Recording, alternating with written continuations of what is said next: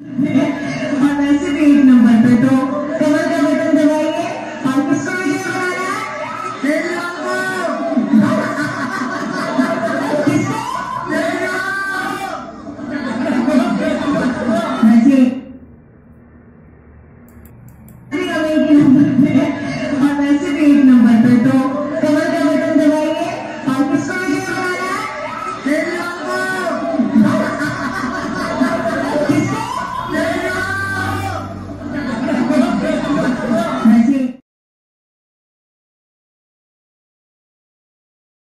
नमस्कार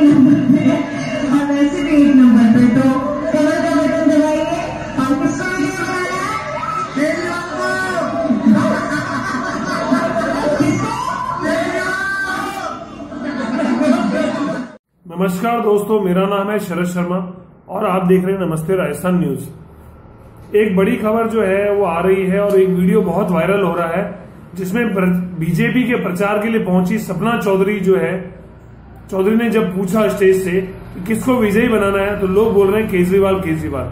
सपना चौधरी का भारतीय जनता पार्टी के प्रचार से जुड़ा एक वीडियो खूब वायरल हो रहा है, जिसमें लोगों से पूछती हैं कि किसको विजयी बनाना है। इस पर उन्हें अजीब व गरीब जवाब सुनने को मिलता है। दिल्ली विधानसभा चुनाव में अब बस कुछ ही समय बचा है। ऐसे में सभी राजनीतिक पार्टियाँ दिल्ली में अपनी जीत दर्ज करने के लिए पूरी कोशिश करने में लगी हैं। चाहे भारतीय जनता पार्टी हो या फिर आम आदमी पार्टी सभी अपनी एड़ी चोटी का ज़ोर लगाकर प्रचार करने में लगी हैं। दिल्ली विधानसभा चुनाव के मद्देनजर हरियाणा की डांसिंग क्वीन सपना चौधरी ने भी बीजेपी के प्रचार के लिए दिल्ली के गोंडा विधानसभा क्षेत्र में पहुँची। इस दौरान लोगों से पूछा कि वह किसे विजयी बनाएँगे, जिस पर लोगों ने उन्हें बड़ा ही चौंकाने वाला जवाब दिया। और जिसका वीडियो जो है बहुत ही वायरल हो रहा है। जिसमें वो भारतीय जनता पार्टी का प्रचार करते दिखाई दे रही हैं, स्टेज पर सबसे, सबके साथ मौजूद सपना चौधरी ने सभा को संबोधित करते हुए कहा, हम अभी भी एक नंबर पर हैं और वैसे भी एक नंबर पर ही हैं। तो कमल का बटन दबाइए और किसके, किसको विजयी बनाना है? सपना चौधरी के इस सवाल पर लोगों ने जवाब आता है केजरीवाल को केजरीवाल को। हैरान करने वाली बात यह है कि ऐसी एक बार नहीं हुआ जब सपना चौधरी ने दोबारा दोहराया कि किसको जिताना है, तब भी लोगों ने कहा केजरीवाल को। सपना चौधरी ने इस वीडियो ने सबका खूब ध्यान खींचा है। साथ ही यह सोशल मीडिया पर तेज़ी से वायरल हो रहा है। बता दें कि डांसिंग क्वीन ने अपना कैरियर की शुरुआत हरियाणा के एक ऑर्केस्ट्रा टीम के साथ ही की थी। सपना चौधरी शुरुआत में हरियाणा और आसपास के राज्यों में रागनी प्रोग्राम में हिस्सा लेती थी, जिसके बाद उन्होंने स्टेज पर परफॉर्म करना शुरू किया।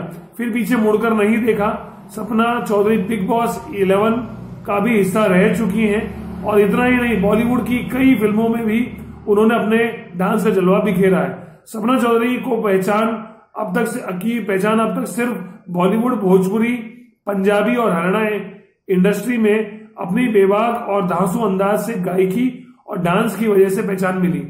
सपना चौधरी ने राजनीति की तरफ़ रुख करते हुए बीजेपी का दामन थाम लिया है। था, और कुछ समय पहले उन्होंने दिल्ली में बीजेपी के सदस्यता अभियान के दौरान भारतीय जनता पार्टी में शामिल हो गई थी। और लगातार जो है, भारतीय जनता पार्टी के साथ चुनाव में वह हिस्सा लेती रही, और उनकी जो है, वो एक पहचान जो है, अब राजनीति की तरफ़ उनकी जो है पहचान बढ़ती जा रही है। खबरों का सिलसिला यूँ ही जारी रहेगा।